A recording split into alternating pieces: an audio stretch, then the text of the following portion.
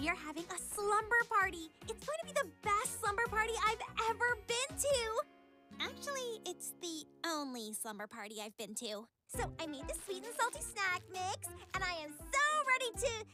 I do. What do you do at a slumber party? Book club. Things could get intense.